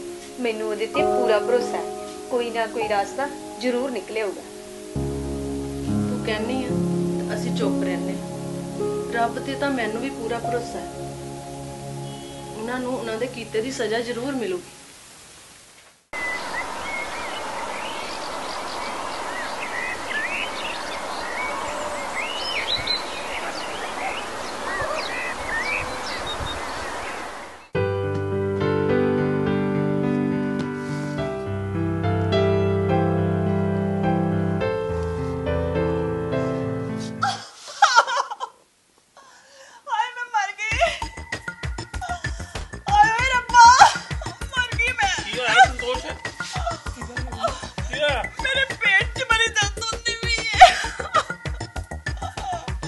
ਤੂੰ ਕੁਝ ਉਲਟਾ ਸਿੱਧਾ ਖਾ ਲਿਆ ਹੋਣਾ।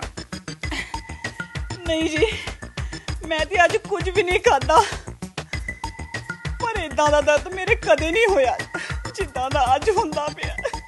ਸ਼ਾਇਦ ਕੁਝ ਨਾ ਖਾਣ ਨਾਲ ਦਰਦ ਹੋਇਆ ਹੋਵੇ। ਨਹੀਂ ਨਹੀਂ ਲੋਕੀ ਵਰਤ ਵੀ ਤਾਂ ਰੱਖਦੇ ਆ ਨਾ। ਨਾਲੇ ਕਦੇ ਕਦੇ ਭੁੱਖਾ ਰਹਿਣਾ ਸਿਹਤ ਲਈ ਚੰਗਾ ਵੀ ਹੁੰਦਾ ਹੈ।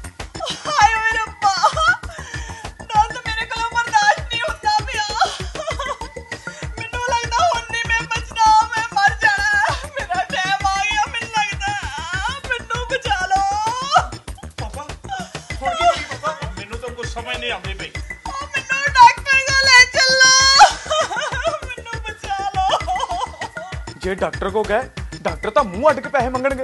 ਮੇਰੀ ਜਾਨ ਨਿਕਲਦੀ ਪਈ ਹੈ ਤੇ ਤੈਨੂੰ ਪੈਸਿਆਂ ਦੀ ਪਈ ਹੈ। ਪੈਸੇ ਲਾਉਣ ਦੀ ਲੋੜ ਹੋਵੇ ਤਾਂ ਤਾਂ ਠੀਕ ਹੈ ਪਰ ਬਿਨਾਂ ਗੱਲ ਤੋਂ। ਕਿਸ਼ੋਰ ਮੇਰੀ ਜਾਨ ਜਾਂਦੀ ਪਈ ਹੈ। ਤੇ ਤੂੰ ਕਹਿ ਰਿਹਾ ਹੈ, ਬਿਨਾਂ ਗੱਲ ਦੇ। ਤੂੰ ਪੈਸਿਆਂ ਦੀ ਪਰਵਾਹ ਨਾ ਕਰ ਆਪਣੀ ਮੰਮੀ ਨੂੰ ਡਾਕਟਰ ਕੋਲ ਲੈ ਜਾ। ਠੀਕ ਹੈ ਮੰਮੀ ਚਲੋ ਫਿਰ। ਪੁੱਤਰ ਤੋਂ ਤਾਂ ਉੱਠਿਆ ਵੀ ਨਹੀਂ ਜਾਂਦਾ।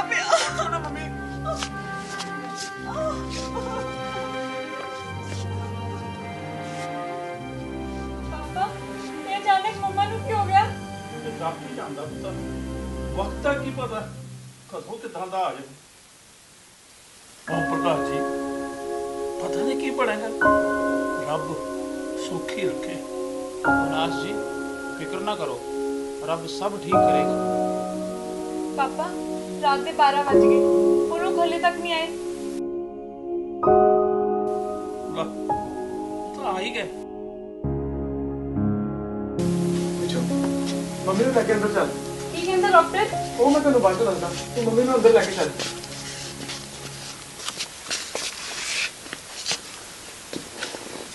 ਕਿਸ਼ੋਰ ਕੀ ਕਹਿੰਦਾ ਡਾਕਟਰ ਪਾਪਾ ਮੰਮੀ ਦੀਆਂ ਦੋਨੋਂ ਕਿਡਨੀਆਂ ਖਰਾਬ ਹੋ ਚੁੱਕੀਆਂ ਨੇ। ਕੀ? ਹਾਂ ਅੰਕਲ। ਮੰਮੀ ਇੱਕੇ ਸੂਰਤ ਦੇ ਵਿੱਚ ਬਚ ਸਕਦੀ ਹੈ। ਜੇ ਕੋਈ ਆਪਣੀ ਕਿਡਨੀ ਉਹਨੂੰ ਦਾਨ ਦੇ ਦੇਵੇ। ਕੌਣ ਕਰੇਗਾ ਕਿਡਨੀ ਦਾਨ? ਬਹੁਤ ਮੁਸ਼ਕਲ ਹੈ। ਕੋਈ ਨਹੀਂ ਕਰੇਗਾ। ਇਦਾਂ ਦਾ ਕਦਮ ਤਾਂ ਕੋਈ ਆਪਣਾ ਹੀ ਉਠਾ ਸਕਦਾ। ਹੈ। ਪਾਪਾ ਮੈਨੂੰ ਨਹੀਂ ਲੱਗਦਾ ਕੋਈ ਆਪਣਾ ਵੀ ਇਦਾਂ ਦਾ ਦਾਨ ਦੇਗਾ ਫੇਰ? ਇੱਕ ਗੱਲ ਮੰਨ ਕੇ ਚਲੋ ਪਾਪਾ ਮੰਮੀ ਨੂੰ ਹੁਣ ਬਚਾਉਣਾ ਮੁਸ਼ਕਲ ਹੈ। ਦਵਾਈ ਤਾਂ ਮੈਂ ਲੈ ਆ ਜਿਨ੍ਹਾਂ ਦੇ ਨਾਲ ਦਰਦ ਤੇ ਉਹਨਾਂ ਦੀ ਘਟ ਜਾਏਗੀ ਪਰ ਉਹਨਾਂ ਨੂੰ ਬਚਾਉਣਾ ਮੁਸ਼ਕਲ ਹੈ ਪਾਪਾ।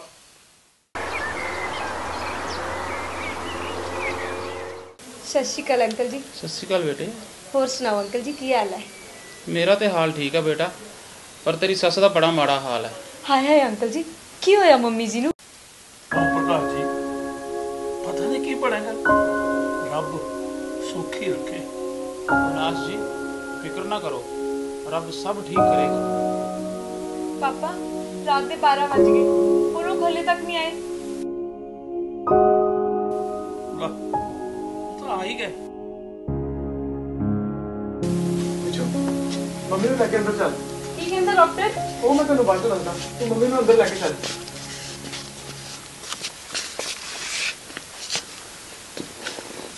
ਕਿਸ਼ੋਰ ਕੀ ਕਹਿੰਦਾ ਡਾਕਟਰ ਪਾਪਾ। ਮੰਮੀ ਦੀਆਂ ਦੋਨੋਂ ਕਿਡਨੀਆਂ ਖਰਾਬ ਹੋ ਚੁੱਕੀਆਂ ਨੇ। ਕੀ? ਹਾਂ ਅੰਕਲ। ਮੰਮੀ ਇੱਕੇ ਸੂਰਤ ਦੇ ਵਿੱਚ ਬਚ ਸਕਦੀ ਹੈ। ਜੇ ਕੋਈ ਆਪਣੀ ਕਿਡਨੀ ਉਹਨੂੰ ਦਾਨ ਦੇ ਦੇਵੇ। ਕੌਣ ਕਰੇਗਾ ਕਿਡਨੀ ਦਾਨ? ਬਹੁਤ ਮੁਸ਼ਕਲ ਹੈ। ਕੋਈ ਨਹੀਂ ਕਰੇਗਾ। ਇਦਾਂ ਦਾ ਕਦਮ ਤਾਂ ਕੋਈ ਆਪਣਾ ਹੀ ਉਠਾ ਸਕਦਾ। ਹੈ।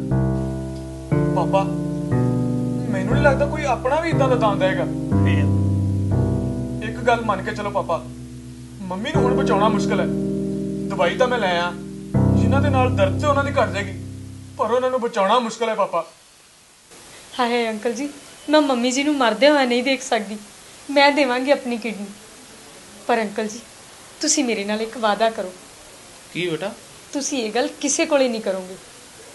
ਕਿਉਂਕਿ ਮੈਂ ਨਹੀਂ ਚਾਹੁੰਦੀ ਉਹ ਮੇਰੇ ਇਸ ਫਰਜ਼ ਨੂੰ ਕੁਝ ਹੋਰ ਨਾਮ ਦੇਣ। ਨਹੀਂ ਕਰਾਂਗਾ ਬੇਟੇ ਮੈਂ ਕਿਸੇ ਨਾਲ ਨਹੀਂ ਕਰਾਂਗਾ।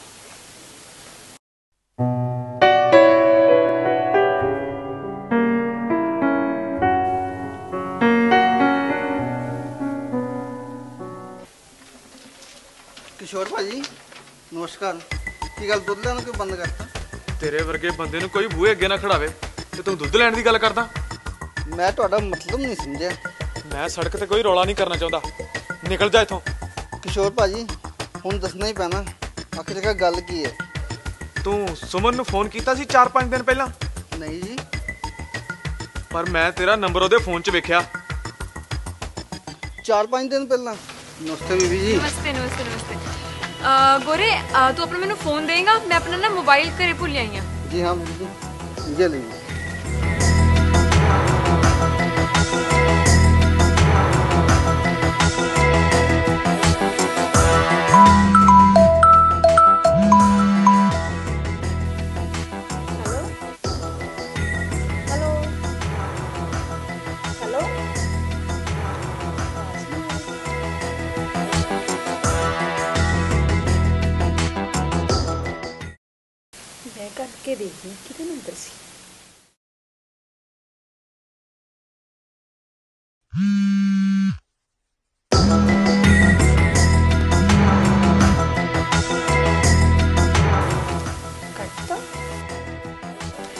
ਬਹੁਤ ਧੰਨਵਾਦ। ਆ ਲਓ ਆਪਣਾ ਫੋਨ ਤੇ ਉਹਨਾਂ ਨੇ ਕੋਈ ਗੱਲ ਵੀ ਨਹੀਂ ਕੀਤੀ। ਤੇ ਫੋਨ ਮੈਨੂੰ ਵਾਪਸ ਵੀ ਕਰਤਾ। ਕੁਝ ਸਮਝਿਆ ਨਹੀਂ। ਨਾਲੇ ਸੁਮਨ ਨੇ ਤੈਨੂੰ 1000 ਰੁਪਇਆ ਦਿੱਤਾ ਸੀ। ਨਹੀਂ ਉਹਨਾਂ ਨੇ ਦਿੱਤਾ ਨਹੀਂ ਸੀ ਜੀ। ਮੈਂ ਮੰਗਿਆ ਸੀ। ਕਿਉਂਕਿ ਮੇਰਾ ਮੁੰਡਾ ਬੜਾ ਬਿਮਾਰ ਸੀ ਉਸ ਦਿਨ। ਸੁਮਨ ਭੈਣ ਜੀ ਤਾਂ ਦੇਵੀ ਨਹੀਂ ਬਾਕੀ ਤੁਹਾਡਾ 1000 ਰੁਪਏ ਮੈਂ ਜ਼ਰੂਰ ਵਾਪਸ ਕਰ ਦਿਆਂਗਾ।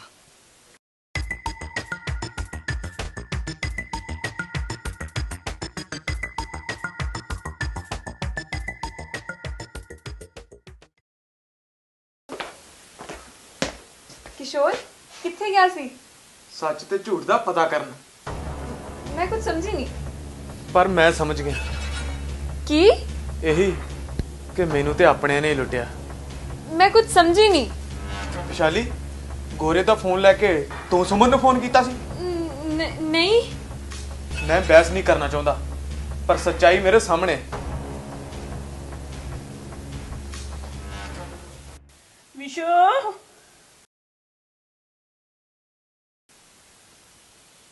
ਵਿਸ਼ੂ ਆਈ ਮੰਮਾ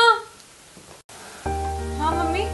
ਵਿਸ਼ੂ ਪੁੱਤਰ ਮੈਨੂੰ ਬਚਾ ਲੈ। ਅੱਜ 10 ਦਿਨ ਹੋ ਗਏ ਮੈਨੂੰ ਤੜਫਦਿਆਂ ਨੂੰ। ਮੇਰੀ ਜਾਨ ਨਿਕਲ ਚੱਲੀ ਹੈ ਪੁੱਤਰ।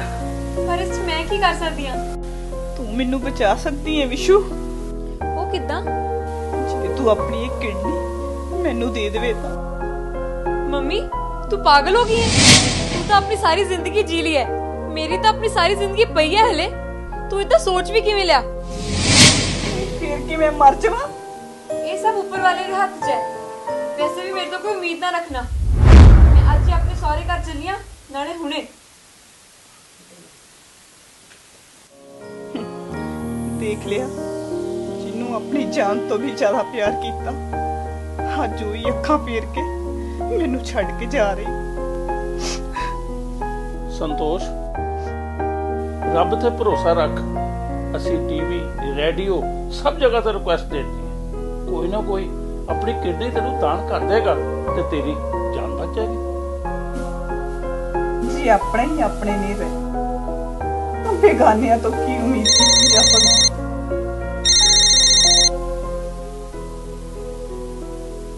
ਹਾਂਜੀ ਓਮ ਪ੍ਰਕਾਸ਼ ਜੀ।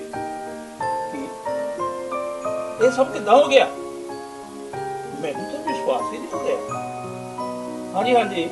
ਅਸੀਂ ਹੁਣੇ ਸੰਤੋਸ਼ ਨੂੰ ਲੈ ਕੇ ਹਸਪਤਾਲ ਪਹੁੰਚ ਰਹੇ ਹਾਂ। ਸੰਤੋਸ਼ ਸੰਤੋਸ਼ ਚਮਤਕਾਰ ਹੋ ਗਿਆ। ਤੈਨੂੰ ਤੈਨੂੰ ਕਿਸੇ ਨੇ ਆਪਣੀ ਕਿਰਨੀ ਦਾਨ ਕਰ ਦਿੱਤੀ ਹੈ। ਕੌਣ ਹੈ? ਇਹ ਤਾਂ ਪਤਾ ਨਹੀਂ ਯਾਰ। ਪਰ ਮੇਰੀ ਮੇਰੀ ਤਾਂ ਦੁਆ ਹੈ ਕਿ ਰੱਬ ਉਹਦੀ ਲੰਬੀ ਉਮਰ ਕਰੇ। ਸੰਤੋਸ਼ ਹੁਣ ਤਾਂ ਅੱਗੇ ਨਾਲੋਂ ਤੂੰ ਕਾਫੀ ਠੀਕ ਲੱਗਦੀ ਹੈ। ਮੈਨੂੰ ਮਰਦੀ ਹੋਈ ਰੱਬ ਨੇ ਦੂਜਾ ਜਨਮ ਭਲਾ ਹੋਵੇ ਇਹਨੇ ਮੈਨੂੰ ਆਪਣੀ ਕਿਡਨੀ ਦਿੱਤੀ ਤੇ ਮੈਨੂੰ ਨਵਾਂ ਜੀਵਨ ਦਿੱਤਾ ਮੈਂ ਕਿਹਾ ਸੀ ਨਾ ਭਾਬੀ ਜੀ ਰੱਬ ਤੇ ਭਰੋਸਾ ਰੱਖੋ ਸਭ ਠੀਕ ਹੋ ਜਾਏਗਾ। ਜਦੋਂ ਮੇਰੇ ਆਪਣਿਆਂ ਨੇ ਮੇਰਾ ਸਾਥ ਛੱਡ ਦਿੱਤਾ ਤਾਂ ਮੇਰਾ ਤਾਂ ਰੱਬ ਤੋਂ ਵਿਸ਼ਵਾਸ ਹੀ ਉੱਠ ਗਿਆ ਸੀ। ਇੱਥੋਂ ਤੱਕ ਕਿ ਮੇਰੀ ਧੀ ਨੇ ਮੇਰਾ ਸਾਥ ਛੱਡਤਾ। ਸੁਮਨ ਕਦੋਂ ਵਾਪਸ ਆ ਰਹੀ ਹੈ? ਉਹਨੂੰ ਤੇ ਮੈਂ ਇਸ ਘਰ 'ਚ ਪੈਰ ਨਾ ਰੱਖਣ ਦਵਾਂ। ਰੱਬ ਉਹਦਾ ਸਤਿਆਨਾਸ਼ ਕਰੇ ਸਤਿਆਨਾਸ਼। ਬਸ। ਬਸ ਕਰੋ। ਉਸ ਮਾਸੂਮ ਨੂੰ ਇੰਨੀਆਂ ਗਾਲਾਂ ਨਾ ਕੱਢੋ। ਅੱਜ ਮਜਬੂਰ ਹੋ ਕੇ ਮੈਨੂੰ ਦੱਸਣਾ ਪੈ ਰਿਹਾ ਹੈ ਕਿ ਤੁਸੀਂ ਜੋ ਜਿੰਦਾ ਹੋ ਨਾ ਤੇ ਸਿਰਫ ਸੁਮਨ ਦੀ ਬਦੌਲਤ ਤੁਹਾਨੂੰ ਕਿਡਨੀ ਕਿਸੇ ਹੋਰ ਨੇ ਨਹੀਂ ਸੁਮਨ ਨੇ ਦਿੱਤੀ ਹੈ। ਹਾਂ ਪੁੱਤਰ ਜੀ ਉਹ ਤੁਸੀਂ ਤੇ ਆਪਣੇ ਬਗਾਨੇ ਦਾ ਫ਼ਰਕ ਮਹਿਸੂਸ ਹੀ ਨਹੀਂ ਕਰ ਸਕੇ। ਮੈਂ ਇੱਕ ਦਿਨ ਗਿਆ ਸੀ ਉਹਨਾਂ ਦੇ ਘਰ ਤੇ ਇਹਨਾਂ ਦੀ ਹਾਲਤ ਬਾਰੇ ਦੱਸਿਆ। ਤੇ ਰੋ ਰੋ ਕੇ ਮੈਨੂੰ ਕਹਿਣ ਲੱਗੀ ਸਤਿ ਸ਼੍ਰੀ ਅਕਾਲ ਅੰਕਲ ਜੀ। ਸਤਿ ਸ਼੍ਰੀ ਅਕਾਲ ਬੇਟੇ। ਹੋਰ ਸੁਣਾਓ ਅੰਕਲ ਜੀ ਕੀ ਹਾਲ ਹੈ? ਮੇਰਾ ਤੇ ਹਾਲ ਠੀਕ ਆ ਬੇਟਾ ਪਰ ਤੇਰੀ ਸੱਸ ਦਾ ਬੜਾ ਮਾੜਾ ਹਾਲ ਹੈ। ਹਾਏ ਹਾਏ ਅੰਕਲ ਜੀ ਕੀ ਹੋਇਆ ਮੰਮੀ ਜੀ ਨੂੰ? ਉਹਦੀਆਂ ਦੋਨੋਂ ਕਿਡਨੀਆਂ ਖਰਾਬ ਨੇ ਡਾਕਟਰਾਂ ਵੱਲੋਂ ਤਾਂ ਜਵਾਬ ਹੀ ਹੈ ਹਾਏ ਹਾਏ ਅੰਕਲ ਜੀ ਮੈਂ ਮੰਮੀ ਜੀ ਨੂੰ ਮਰਦੇ ਹੋਏ ਨਹੀਂ ਦੇਖ ਸਕਦੀ। ਮੈਂ ਦੇਵਾਂਗੀ ਆਪਣੀ ਕਿਡਨੀ। ਪਰ ਅੰਕਲ ਜੀ ਤੁਸੀਂ ਮੇਰੇ ਨਾਲ ਇੱਕ ਵਾਅਦਾ ਕਰੋ। ਕੀ ਬੇਟਾ? ਤੁਸੀਂ ਇਹ ਗੱਲ ਕਿਸੇ ਕੋਲੇ ਨਹੀਂ ਕਰੋਗੇ। ਕਿਉਂਕਿ ਮੈਂ ਨਹੀਂ ਚਾਹੁੰਦੀ ਉਹ ਮੇਰੇ ਇਸ ਫਰਜ਼ ਨੂੰ ਕੁਝ ਹੋਰ ਨਾਮ ਦੇਣ। ਨਹੀਂ ਕਰਾਂਗਾ ਬੇਟੇ ਮੈਂ ਕਿਸੇ ਨਾਲ ਨਹੀਂ ਕਰਾਂਗਾ। ਅਵਨਾਸ਼ ਜੀ ਉਹ ਕੋਈ ਸਧਾਰਨ ਕੁੜੀ ਨਹੀਂ। ਉਹ ਦੇਵੀ ਹੈ ਦੇਵੀ। ਤੁਸੀਂ ਬੜੇ ਭਾਗਾਂ ਵਾਲੇ ਹੋ ਕਿ ਤੁਹਾਨੂੰ ਇਦਾਂ ਦੀ ਨੋ ਮਿਲੀ। ਪਰ ਤੁਸੀਂ ਤੁਸੀਂ ਤੇ ਆਪਣੇ ਬਗਾਨੇ ਦੀ ਪਛਾਣ ਹੀ ਨਹੀਂ ਕਰ ਸਕੇ। ਹਾਇਓ ਮੇਰੇ ਰੱਬਾ। ਅਣਜਾਣੇ ਵਿੱਚ ਅਸੀਂ ਐਡੀ ਵੱਡੀ ਭੁੱਲ ਕਰ ਬੈਠੇ। ਜਾ ਕਿਸ਼ੋਰ ਤੂੰ ਸੁਮਨ ਨੂੰ ਹੁਣੇ ਮਨਾ ਕੇ ਲਿਆ। ਹੁਣ ਕਿਹੜੇ ਮੂੰਹ ਨਾਲ ਉਹਦੇ ਕੋਲ ਜਾਵਾਂ? ਹੁਣ ਤਾਂ ਉਹਦੇ ਸਾਹਮਣੇ ਅਸੀਂ ਬਹੁਤ ਛੋਟੇ ਹੋ ਗਏ ਹਾਂ। ਤੇ ਮੈਂ ਤਾਂ ਉਹਦੀਆਂ ਅੱਖਾਂ ਵਿੱਚ ਅੱਖਾਂ ਪਾ ਕੇ ਗੱਲ ਵੀ ਨਹੀਂ ਕਰ ਸਕਦਾ। ਜੋ ਹੋਣਾ ਸੀ ਹੋ ਗਿਆ। ਸਾਡੇ ਲੋਕਾਂ ਕੋਲੋਂ ਗਲਤੀ ਹੋਈ ਹੈ। ਅਸੀਂ ਹੱਥ ਜੋੜ ਕੇ ਮਾਫੀ ਮੰਗ ਲਵਾਂਗੇ, ਪਰ ਆਪਣੀ ਨੂੰਹ ਨੂੰ, ਆਪਣੀ ਨੂੰਹ ਨੂੰ ਆਪਣੇ ਘਰ ਜ਼ਰੂਰ ਲਿਆਵਾਂਗੇ। ਤੂੰ ਜਾ ਜਾ ਤੂੰ। ਕਿਸ਼ੋਰ, ਤੂੰ ਜਾ। ਤੇ ਸੁਮਨ ਨੂੰ ਵਾਪਸ ਲੈ ਕੇ ਆ। ਹੁਣੇ ਲੈ ਕੇ ਆ ਤੂੰ। ਜਾ ਮੇਰਾ ਪੁੱਤਰ।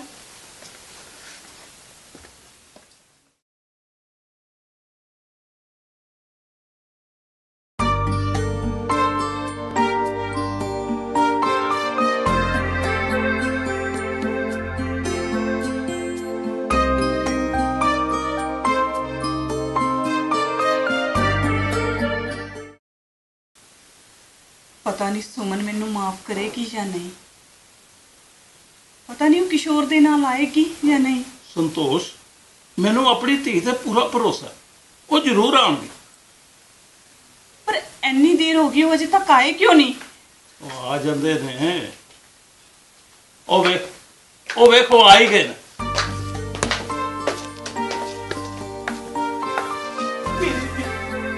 ਮੈਨੂੰ ਮਾਫ ਕਰ ਦੇ ਮੈਂ ਪਹਿਚਾਨ ਨਹੀਂ ਸਕੀ। ਮੈਨੂੰ ਮਾਫ ਕਰ ਦੇ। ਮੰਮੀ ਜੀ ਜੋ ਹੋ ਗਿਆ ਉਹ ਸਭ ਕੁਝ ਭੁੱਲ ਜਾਓ। ਤੁਸੀਂ ਤਾਂ ਹੁਣ ਠੀਕ ਹੋ ਨਾ? ਹਾਂ ਮੈਂ ਹੁਣ ਠੀਕ ਹਾਂ। ਮੇਰੀ ਇਹ ਜ਼ਿੰਦਗੀ ਹੁਣ ਮੇਰੀ ਨਹੀਂ। ਪੁੱਤਰ ਤੇਰੀ ਦਿੱਤੀ ਹੋਈ ਇਹ ਜ਼ਿੰਦਗੀ ਹੈ ਪੁੱਤਰ ਨਹੀਂ ਮੰਮੀ ਜੀ ਇਹ ਤਾਂ ਮੇਰਾ ਫਰਜ਼ ਸੀ।